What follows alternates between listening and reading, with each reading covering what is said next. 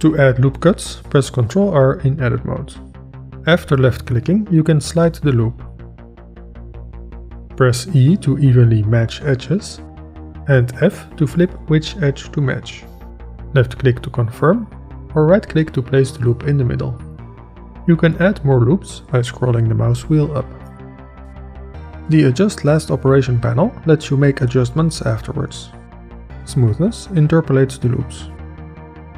When you want to add a loop cut at a precise distance from an edge, create the loop cut and slide it all the way to that edge. Then press G and the axis you want to move on and type the distance on the numpad. You can also turn on edge length in viewport overlays.